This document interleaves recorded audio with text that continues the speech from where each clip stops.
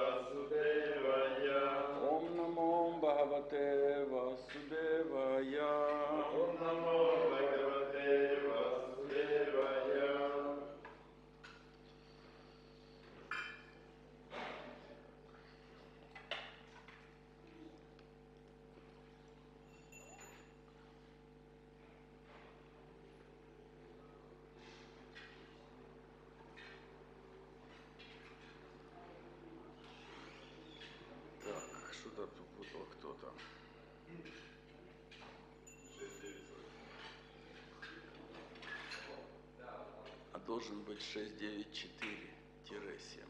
Правильно? Кто знает, что вчера читали? 44. А? 694-7.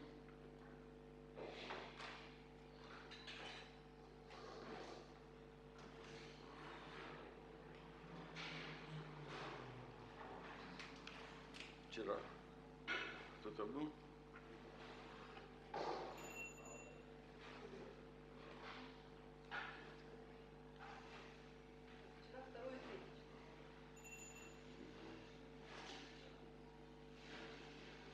Тогда четвертый. Все правильно.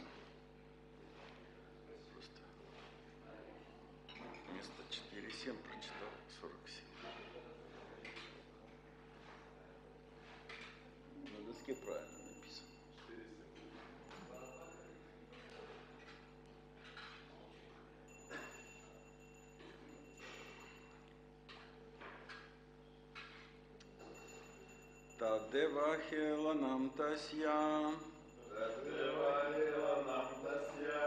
Хармаликам Сурешварах Армаликам Сурeshвараха. Алакшья Тарасабхитас Алакшадасахитас. Тачхиршан Ячхинадруша Тачишаньяхинашвара. τα δεύτερα, λοιπόν, τα σουρεσβάρα. Αλάξια, Ταρασάπιτας, πητά. Αλάξια, τρασα πητά. Τα χειροσάνια, τσχηνά. Τα δεύτερα, λοιπόν. Алакшья Тарасабхитас Алакшадасахитас. Тачхиршан Ячхинадруша Тачишаньяхинадруша. Тадева хиланам тасьям Тадевахиланам Тасья. Хармаликам Сурешварах Армаликам Сурeshвараха. Алакшья Тарасабхитас Алакшадасахитас. Тачхиршан Ячхинадруша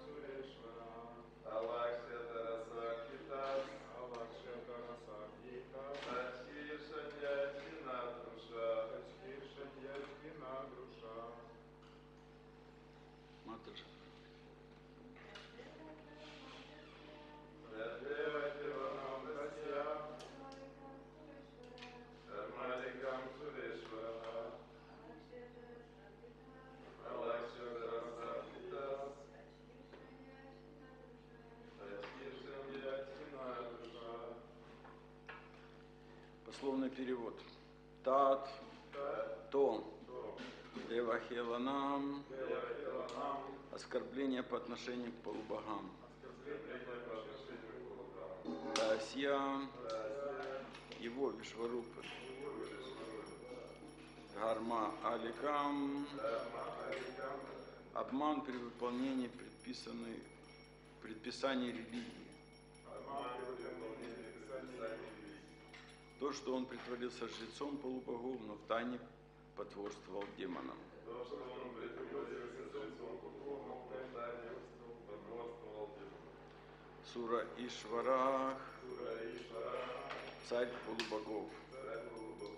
Алакшья, заметив, заметил, Тараса, поспешно, успешно. Питах, И так, опасаясь опасаясь того, что демоны с помощью Вишварупы обретут большую силу.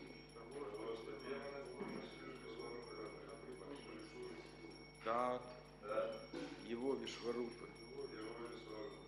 Шершани, головы, голову, Ачхинат, отрубил, убил, Руша, Руша. Ниве. Перевод. Но однажды царь небес Индра обнаружил, что Вишварупа обманывал полубогов, тайно поднося жертвы от имени демонов. Испугавшись, что это приведет к очередному поражению в битве с демонами, Индра в гневе обезглавил своего жреца, снеся с плеч все три его головы. На этот стих нет комментария, читаем дальше. Сома Питхам Туятасья Ширасит Капинджалах Калавинках Сура Питхам Анадам Ятса Титхирих. Головы Вишварупы, голова Вишварупы, которая пила Сомарасу, обернулась рябчиком, Капинджалом. Голова, которая пила вино, воробьем, Калавинка. А та, которая ела, куропаткой,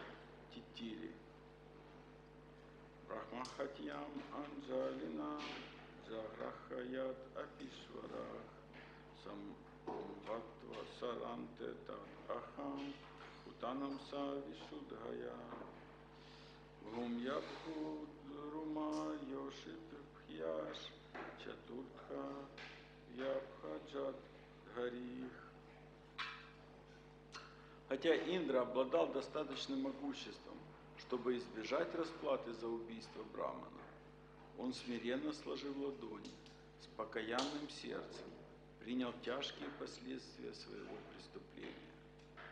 Целый год Индра страдал за совершенный грех, а затем, желая очиститься от скверны, разделил его последствия между землей, водой, деревьями и женщинами.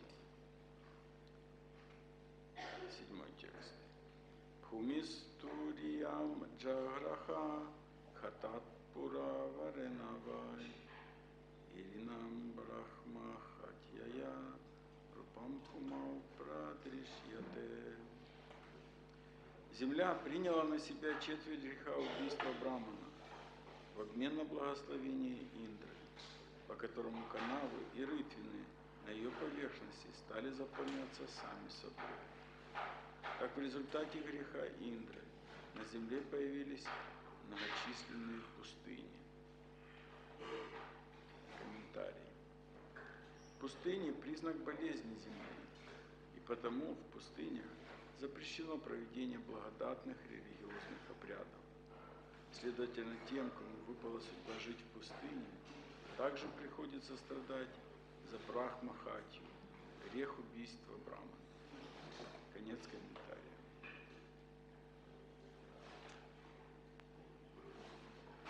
home again.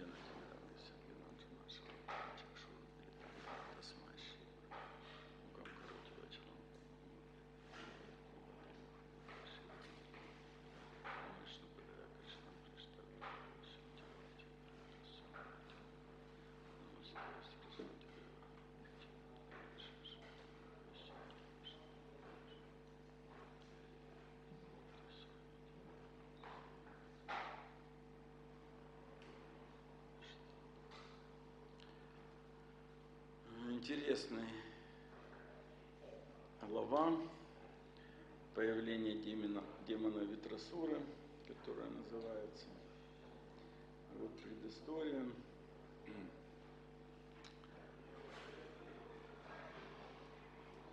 Вишварупа убит. Снесены все три головы.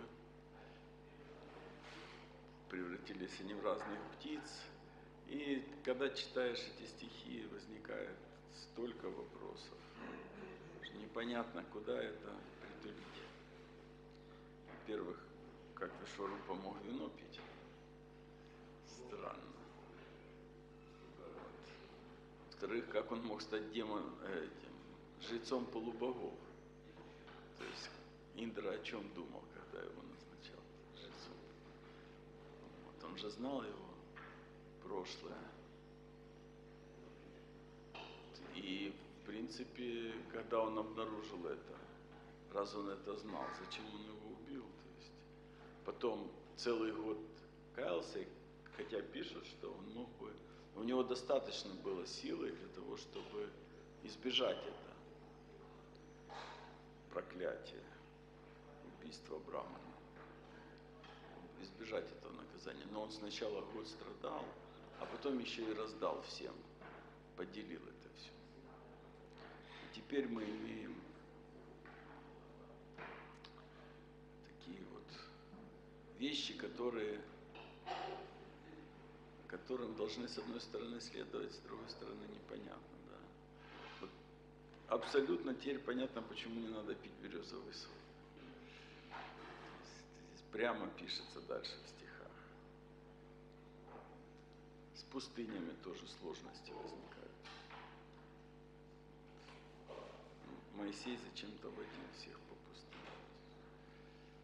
Иисус Христос в пустыне. Святой Дух снизошел на него. И так далее и тому подобное. То есть очень-очень много разных таких заковырок, и непонятно, как к этому относиться и как это разбирать. Ну, точнее, понятно, очень интересно во всем этом разобраться постепенно. Вот, и найти все ответы. Вот. Но у нас, похоже, не будет ни времени на все это, ни квалификации лектора, чтобы ответить на все эти вопросы. Поэтому э, мы постараемся это обобщить. И для того, чтобы как бы, понять общий смысл, э, нужно все-таки представить, в каком контексте это и с какими личностями происходит. То есть Индра, царь полубогов. То есть, и хотя мы привыкли уже, что Индра попадает все время в какие-то ситуации, вот, и мы так, может, даже как-то к нему снисходительно относимся, как к не очень разумному живому существу, который занимает такой пост, все время вот попадает вот, в прямом и переносном смысле этого слова. И, но это царь полубогов, и где у нас находятся полубоги? Они находятся в материальном мире. Так или иначе. Это живые существа, но они находятся в материальном мире. Это преданные Господа, они очень обладают большим могуществом.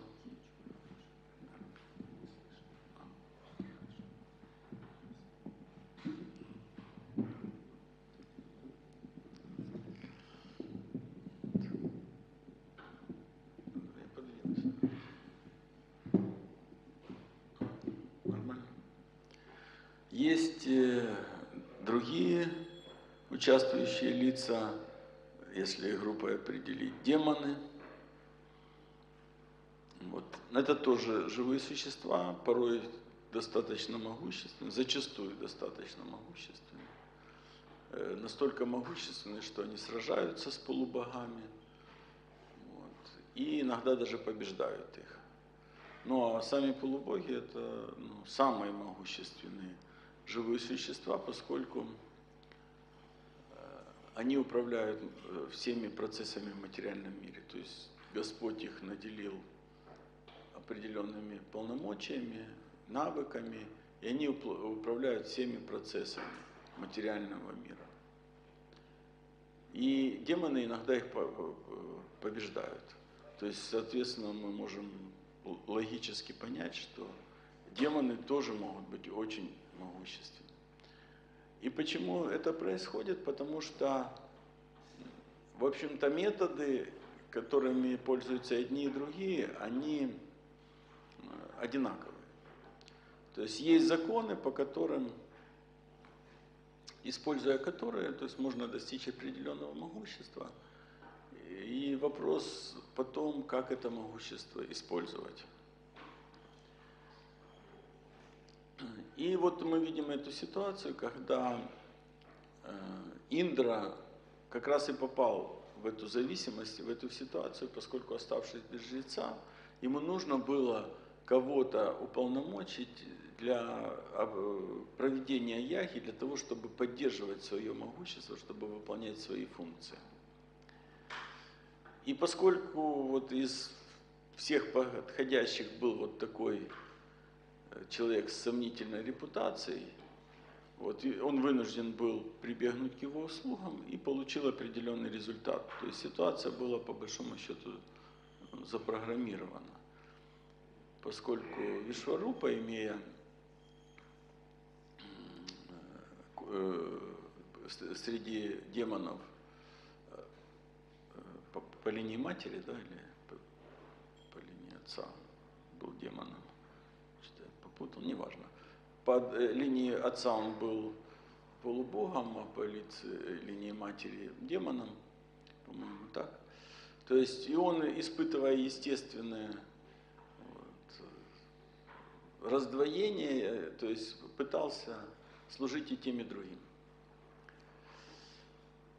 И в своей жизни мы часто попадаем в подобную ситуацию. Для чего вообще нам с Шримад Бхагаватам такие истории? Это для, для того, чтобы мы могли сравнить, и это не где-то там в непонятном для нас мире происходит, это происходит каждый день с нами. Потому что мы все время находимся в такой же ситуации, когда нам нужно делать выбор, как действовать. Иногда нам приходится прибегать и общение иметь вот с такими же людьми. Мы сами являемся такими же людьми. И мы должны э, понимать, основываясь на этом опыте, что это будет иметь определенные последствия. Вот. И каждый раз, когда мы будем схитрить и пытаться где-то пройти, мы получим этот результат. То есть мы получим то, что э, нам срубят голову, или мы вынуждены будем как-то себя неучтиво повести. И за это придут обязательно реакции. Более того, возникает следующий вопрос из этой короткой истории. А нужно ли рубить голову? Вот нужно ли рубить голову, то есть если возникает такая ситуация? В принципе, что-то Индра. Что, ему, в чем проблема, то, что демонам? Ну, стали бы они могущественнее, ну, стань еще могущественнее. Тем более теперь ты выявил такой обман, проконтролируй своего подчиненного, чтобы он больше так не делал. То есть, ну, как-то реши этот вопрос положительным способом. Ну, Индра решил его так, как положено к шатрию, как положено царю, то есть наказал преступника. Вот. Но поскольку он сам создал эту ситуацию и сам из нее уже выпутывался, то она имела и последствия. И, в общем-то, Индра в данной ситуации не захотел э, самостоятельно взять на себя и решить этот вопрос. Почему? Потому что любое решение подобного вопроса, оно требовало э, ну, чем-то за это рассчитаться. Ну, у полубогов одна валюта, их благочестие – через которое, благодаря которому они имеют силы. И, соответственно, он бы потерял очень много силы, что ставило бы э, под сомнение, во-первых, его возможность выполнять свое служение, защищать всех полубогов. Ну и самое, что больше всего обычно волнует Индру, это то, что кто-то из великих личностей мог бы начать претендовать э, на э, его пост. И поэтому он нашел такой компромисс, когда он, с одной стороны, э, сумел это оскорбление, от этого оскорбления избавиться, то есть, э, с другой стороны, э, не потерять свою силу. И он путем, опять же, несложных переговоров, это в обмен на желание других существ, это не так, что он заставил всех принять. То есть все в обмен на решение собственных проблем, то есть просто э, э, оказали эту услугу Индре. И поэтому тут все получили земля, вода, женщины, деревья. То есть решение каких-то своих вопросов и баланс своих проблем. Из этого можем сделать следующий вывод, что в материальном мире, а описывается именно действие в материальном мире, вот все происходит именно по такой схеме. То есть, как только э, любое действие, которое мы здесь совершаем, какое бы оно ни было, оно имеет последствия. И эти последствия, они, э, если они совершены в гунах материальной природы, всегда имеют общий знаменатель э, последствий. Это страдания. То есть, что бы мы ни делали в материальном мире, мы будем страдать. Делали, будем это делать мы в благости, в страсти, в невежестве тем более. Будем это мы делать э, как выполнение своих собственных обязанностей, или мы будем это с кем-то делить и так далее. Как бы мы ни старались обмануть этот закон, он всегда приведет к одному. То есть любые действия в материальном мире приведут с абсолютной точки зрения к страданиям. И какой же выход из этого? То есть, потому что ну, вряд ли кого-то устроит такая перспектива. Вот, и выход э, очевиден. Вот, э, очевидный вы, выход, то есть нужно действовать вне законов материального мира. То есть вне гун. Это ниргуна, то есть не подвластному. То есть решения должны быть такие, которые не подчинены правилам этого материального мира. И дальше мы увидим, история будет развиваться, развиваться, и до тех пор положение э, будет усугубляться полубогов, э, пока они не придут в отчаяние и не обратятся к Верховному Господу.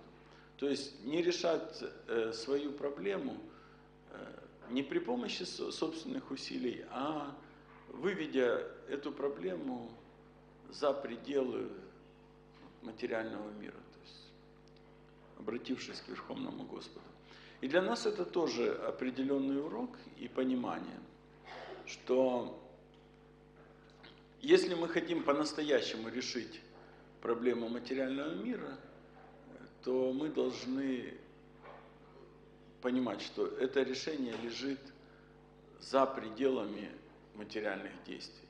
И поэтому Шила Прабхупада и говорил, что наше движение способно дать духовное решение материальным проблемам этого мира. И в этом его, в общем-то, главное предназначение и функция. Потому что зачастую э, так работает обусловленный ум, и мы видим здесь на примере Индры, мы можем проследить на собственном примере на своих действиях, что так работает материальный мир, что здесь постепенно все приходит в упадок. И в том числе, например, наша какая-то духовная практика или э, движение, тоже полученное от э, освобожденных личностей, когда мы сами занимаемся, наше служение, наша деятельность, она постепенно, постепенно, постепенно замыливается – теряется цель, теряется смысл. И понимая этот закон, э, мы должны быть всегда на стороже и понять, как мы будем этому противодействовать. Потому что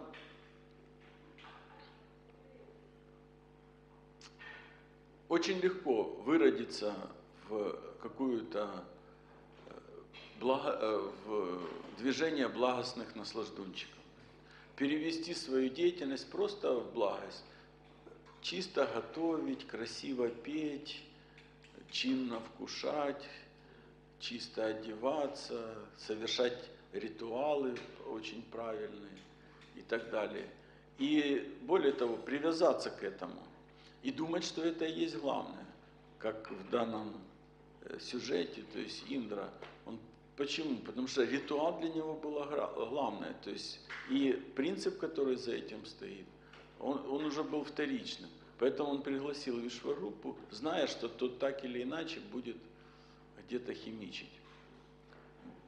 Так и мы должны понимать, что в любом случае, совершая какую-то деятельность, если мы не будем помнить о том, для чего мы ее совершаем, мы попадем в эту ловушку и вынуждены будем э, получать плоды, то есть э, негативные реакции.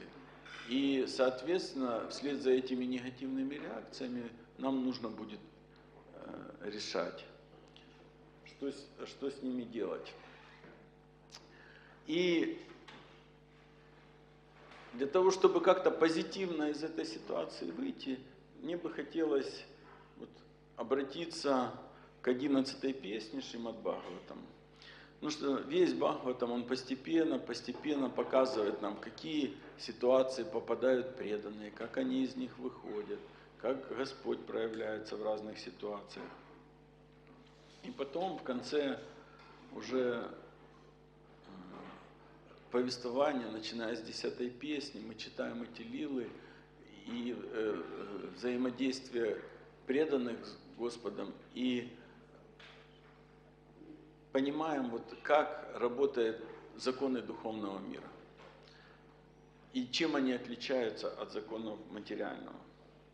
И что нужно сделать для того, чтобы научиться поддерживать в себе вот этот э, дух, вот это понимание духовного мира и эти навыки, чтобы перенести решение и цели э, собственные из материального мира, где они приводят в любом случае к страданиям, в мир ниргуны, мир духовный. И есть замечательный э, текст Шримад там 11.3.30, вот, э, который описывает, как же мы можем здесь вот это настроение поддерживать. И то есть очень простая практика. Я сразу прочитаю перевод.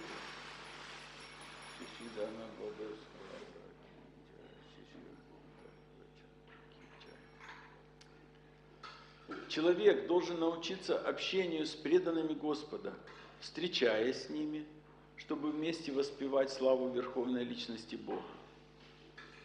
Никакой другой метод не обладает таким очищающим воздействием. Развивая между собой теплую дружбу, преданные испытывают счастье и удовлетворение.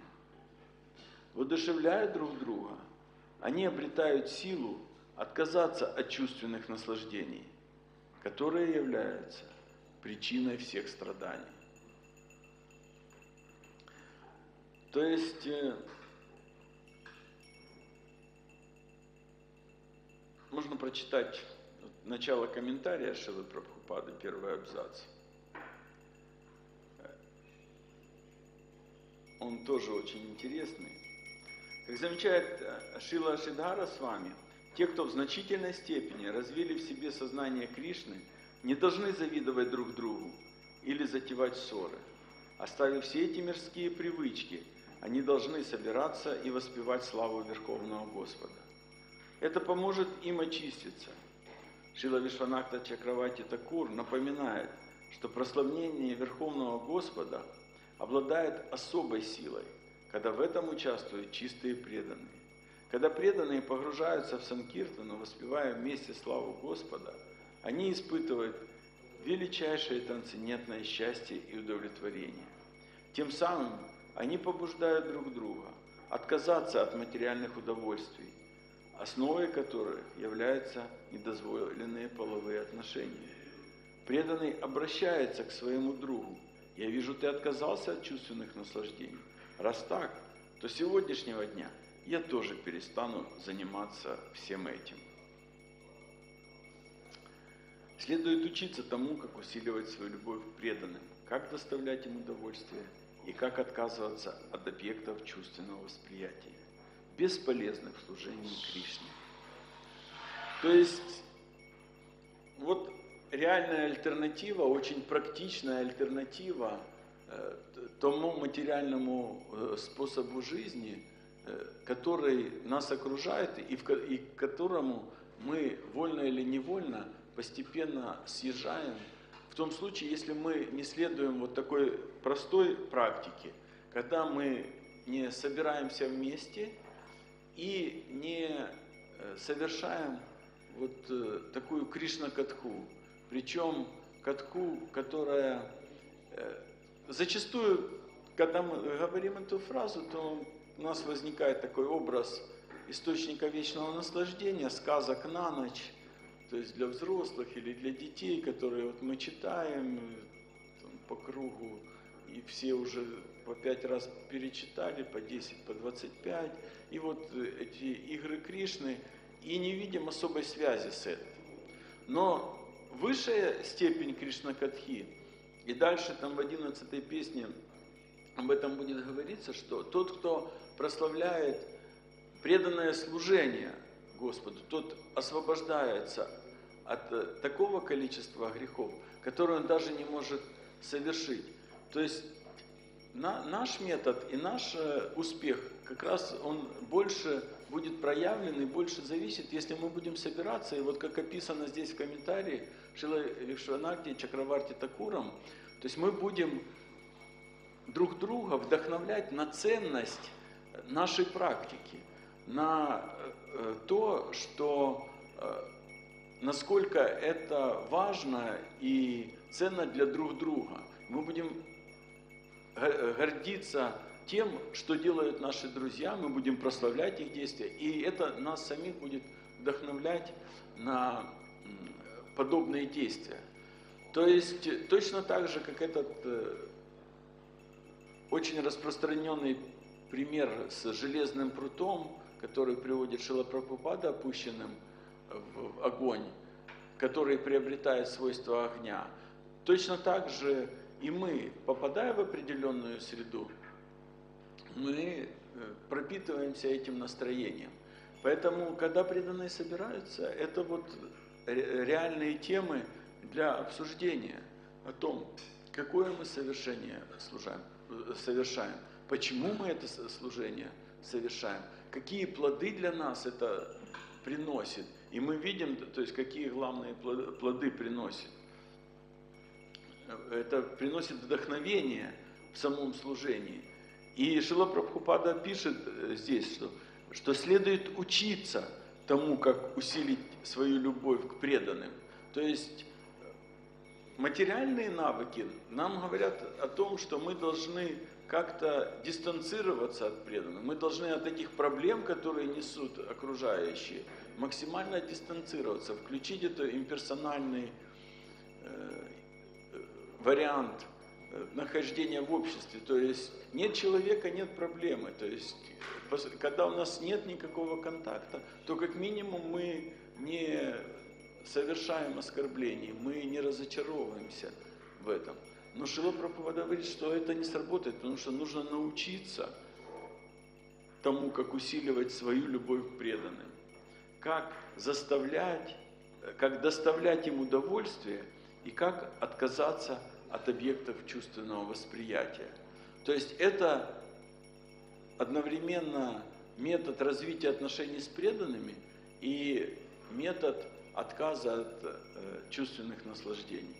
Поэтому, когда мы вместе собираемся, то есть наша задача вот, говорить о славе преданного служения, о своих эмоциях, которые мы переживаем, совершая это служение, о каких-то вдохновениях, э, реализациях, которые нам приходят во время служения – и тогда это будет вдохновлять как нас самих, так и окружающих. И вот именно так, делясь друг с другом, преданные и укрепляют свое сознание Кришны, преданные становятся строже в своей духовной практике, и они защищают себя и друг друга от э, объектов чувственного восприятия, бесполезных в служении Кришне. Именно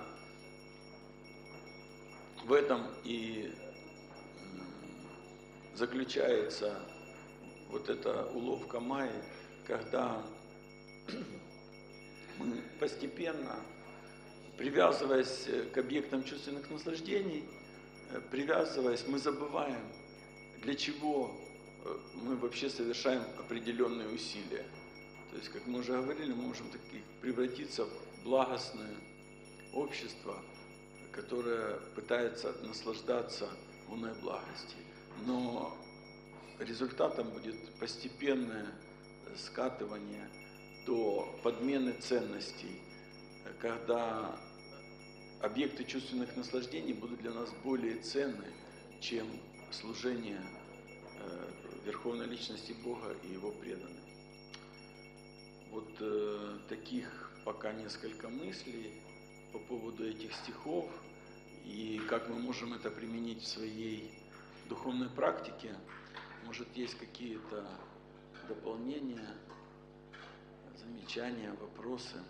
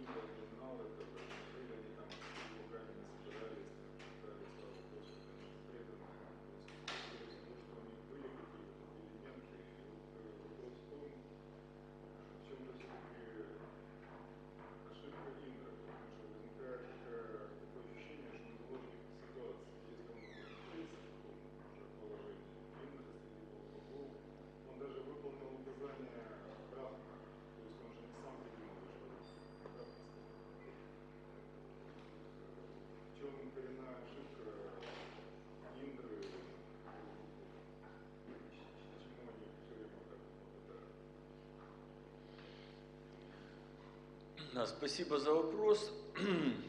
В чем ошибка полубогов?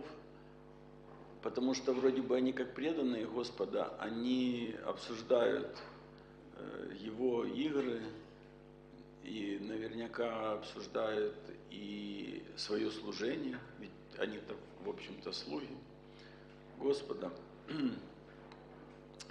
И это очень хорошее уточнение, потому что именно вот эта тонкая разница, она является той ловушкой, которую преданные попадают тоже. Преданные тоже полубоги, в общем-то. Э, вот. И полубоги, они, обсуждая славу Господа, даже обсуждая славу своего служения и находясь в этом положении, они это все вот как раз и используют для собственных наслаждений. И в положение в это они попали, ну, из-за этих своих желаний. Вот. И преданные, в общем-то, проходят тот же путь. Они э, сначала э, получают какие-то какое-то положение преданного, что само по себе там, выше Брамана и так далее. Но потом э, это положение, вот незаметно, именно об этом я и пытался сказать, оно э, начинает э, подменять цель. То есть уже положение ради положения. Да, мы вроде бы совершаем служение, но оно начинает иметь какие-то очень тонкие, корыстные мотивы. То есть оно уже начинает совершаться не для Господа, а для того, чтобы ну, тонко наслаждаться. Там, э, или какими-то там, положением, или, как правило, положением в разных ипостасях. От физического тела положения, пищи там, до каких-то тонких там, гордостей и так далее. И да- даже собираясь, если мы будем вот э, э, этот э, мотив раскручивать, это мы же попадаем в ту же ситуацию, что и полубоги. Вот какие мы преданные, хорошие, то есть, а как у нас хорошо, а что нужно делать, чтобы быть хорошим преданным, чтобы Махапрасада мне больше доставалось, чтобы положение занять какое-то в обществе преданных и так далее. То есть, и это настолько тонкая грань, что ее очень тяжело э, ну, за- заметить и понять. Но смысл как раз и заключается в том, что мы должны славу не деятельности, а вот настроение в этой деятельности, это, ну, ею восхищаться, она нас должна вдохновлять и поддерживать. Что чем отличается настроение полубогов от э, жителей духовного мира? Потому что они там сосредоточены на том, не что сделать Кришне, а как сделать. А потом уже вслед за этим как идет что. То есть у полубогов у них ритуал, что э, э, сделать. Вот. И когда на вопрос как и для кого, то есть у них там возникают вот эти сомнения, как у Индры. То есть он все время боится потерять могущество, свой пост и так далее. Преданные, мы много этих историй. Самые знаменитые это гопи, которые хотели избавить Кришну от головной боли. Да им глубоко было наплевать, что они в ад пойдут или еще куда-то, лишь бы у Кришны прошла голова, головная боль. Вот.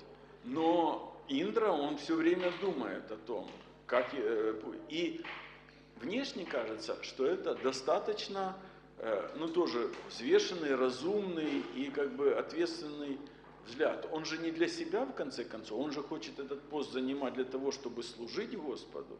То есть я хочу стать главным поваром, президентом храма или лидером Намахаты. Не для того, чтобы себя удовлетворять, а для того, чтобы в миссии служить. То есть могут подумать преданные. Но это настроение, оно вот и это начинает оскверняться тем, что я хочу что-то делать для того, чтобы. Чистые и преданные, они без условно как бы.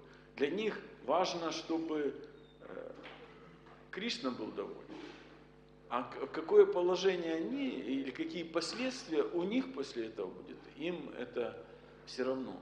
Поэтому э, мы заложники ситуации, вы правильно говорите.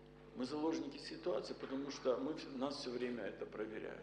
Нас все время, как здесь пишет Шила Прабхупада, привлекают вот эти чувственные наслаждения, и мы все время должны себя проверять это вот эти тонкие моменты ли мы не ищем, вот, не хотим ли мы скатиться до какой-то благостного на- наслаждения под красивой вывеской преданного служения.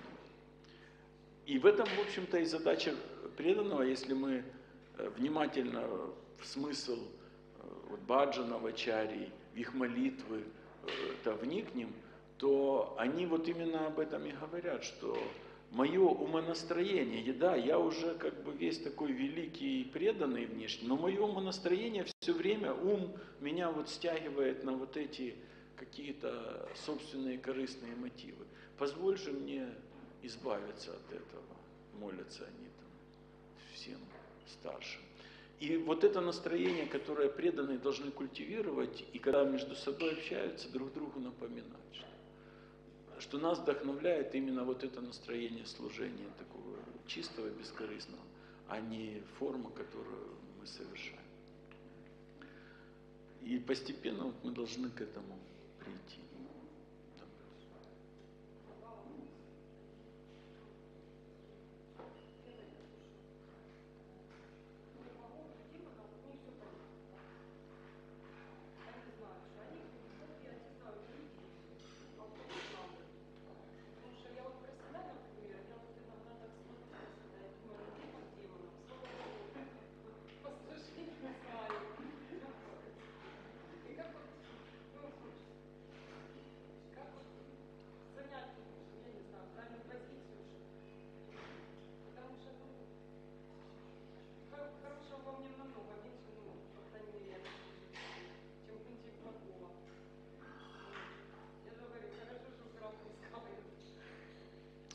У вас идеальное видение. Да. Что, что, ну, вы видите, это, что у вас плохого, то есть и видите, куда нужно стремиться. На самом деле эта проблема не новая. В истории были такие случаи, когда демоны побеждали Вселенную, и они называли себя полубогами.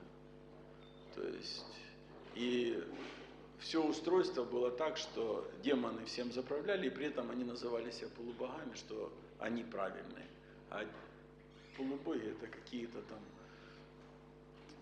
да, демоны. Тут менялось. Это. И у нас э, в сознании именно об этом мы, мы и говорим, что мы должны отслеживать, чтобы у нас такая перемена не произошла.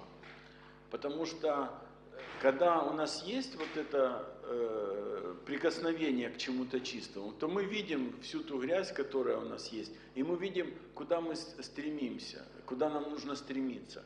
И мы понимаем, что ну, кто мы такие. И мы видим, что преданные, они вот чем дальше двигаются, тем они больше говорят, я хуже навозного червя. То есть я настолько, потому что открывается вся вот эта наша несоизмеримость. Просто то, что мы находимся здесь в материальном мире, это уже там полная дисквалификация. Но самая большая квалификация, то, что мы начинаем это, видеть и осознанно совершать какие-то действия. Хуже, когда мы наоборот, мы начинаем оправдывать какие-то свои слабости, и тогда мы начинаем двигаться в обратном направлении. Поэтому ну, видеть очень просто, и как раз мы об этом и говорим. То есть нужно общаться с теми, кто имеет такое настроение. Нужно стремиться и искать такое общение. Поэтому, когда мы э, говорим, что э, преданные ищут общение с чистым преданным, это не значит, что они там меряют, насколько он хорошо помылся. Это значит, они это, оценивают вот это настроение служения. Второй вопрос. У меня, ну, когда мы общаемся с другими преданными, ну, там, когда иногда так приходится делать замечания, да, ну, одному человеку, другому, ну, одному преданному, другому преданному. И а, говорится, что надо делать их там мягко и всё такое. А, ну, а когда говоришь мягко, не всегда реагируют. Когда говоришь жестко, понимаешь, что ты оскорбляешь. И не говоришь. И в итоге получается, что ну, замечание как бы надо сделать, ты его не делаешь. Потому что ну, ситуация такая. Как вот, как вот в таких ситуациях? Ну, Ну, в таких ситуациях замечания лучше не делать. Э, Не нужно преувеличивать свои, свою роль служения. Я, я, я про свою говорю, не про вашу. То есть я же что- та- точно так же действую. Сейчас я до- давайте договорю, а потом мы это э, обсудим, если нужно. То есть э, вопрос не в том, мы это делаем мягко, жестко, э, вот, уместно или неуместно. Мы, э, вопрос в том, э, с каким мотивом мы это делаем. То есть, э, и но это вот производная от нашего основного сегодняшнего обсуждения.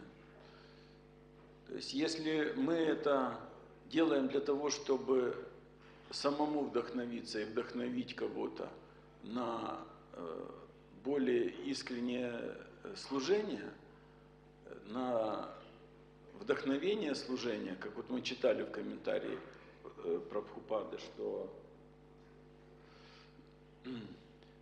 это общение наше такое, даже в форме подсказки, вот, должно иметь такой результат, что преданный обращается к своему другу. Я вижу, ты отказался от чувственных наслаждений. Раз так, то с сегодняшнего дня я тоже перестану заниматься всем этим. То есть вот э, э, результатом нашего общения любого должно быть вдохновение преданных, которые с которыми мы общаемся.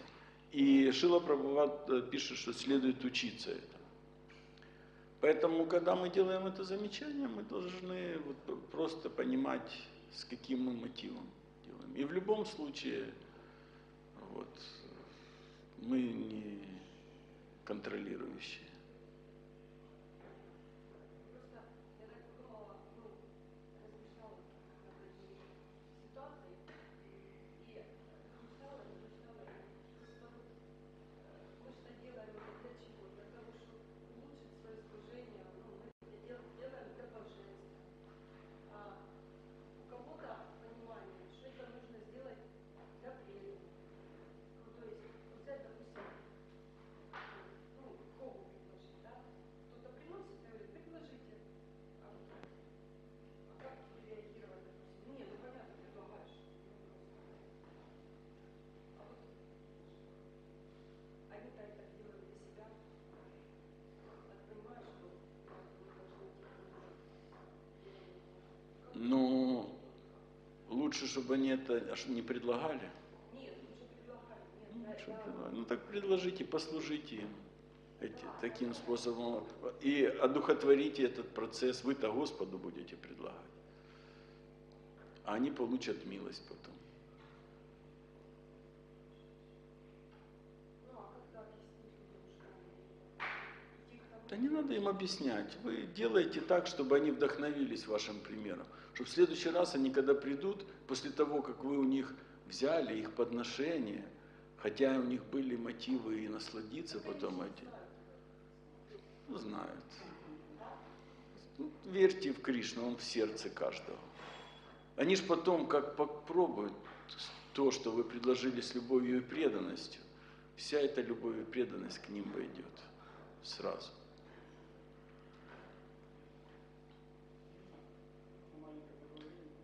Да, ну я не знаю, мы, наверное, должны остановиться. замечаний, я думаю, что все с этим сталкивались в процессе преданного служения, общения с преданными. Я заметил, что если есть отношения, то это делать легче намного, и реакция более ожидаемая. Если нет отношений, то этого действительно лучше не делать или найти того, у кого с ним есть отношения, и таким образом можно повлиять как-то на, ну, наверное, поведение или какие-то моменты. Я думаю, что это помогает лучше, чем мы делаем замечание, идет ответная реакция, идет ну, неправильно, мы теряем отношения с этим человеком еще больше, и тогда в чем смысл вообще этих наставлений там, и замечаний. Да, да. Я уже, чтобы закончить, расскажу историю. Гуляет сейчас она там. Фейсбук христианская, но очень классная. Мне нравится.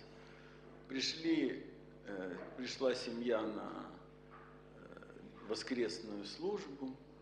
Это сидят, слушают. И тут у мужа внезапно зазвонил телефон. Он забыл его просто выключить.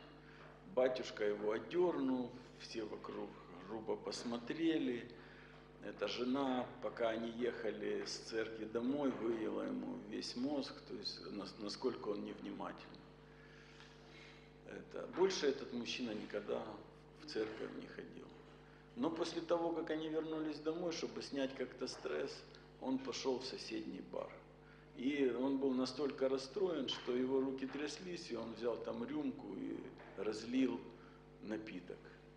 Тут же официантка подошла, извинилась перед ним, предложила, чтобы это он там вы убрала, предложила ему одежду вытереть.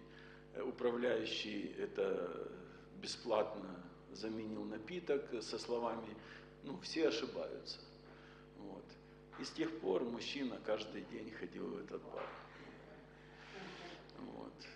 Вот поэтому иногда лучше это замечание и можно по-разному сделать. Вот. И я думаю, он и проливать ничего больше никогда не будет, и общаться будет. Поэтому лучше в настроении служения и вдохновения это делать. И этому надо учиться. А учиться это вот, как здесь описано, нужно собираться и вот э, эту славу друг другу рассказывать. Как нас вдохновило что-то, как мы видели, как кого-то вдохновило и так далее. И тогда это будет давать нам силы действовать так дальше. Хорошо, спасибо вам большое. Грантарадж Шримад Бхагаватам Ки Шила Прабхупада Ки Джай.